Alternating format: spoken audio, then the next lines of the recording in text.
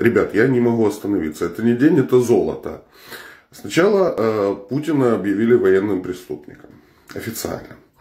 А потом в Госдуме заявили, что нужно э, укреплять э, союзнические отношения с Северной Кореей.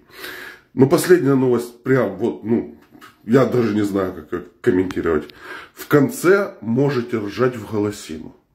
Так вот, э, из-за введенных санкций э, Россия вынуждена была запустить печатный станок и напечатать новые деньги. Но случилась маленькая оказия. Бумагу и краски они заказывают в Швейцарии. Угу.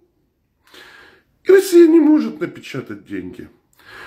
А это означает крах экономики в ближайшие две недели. Максимум.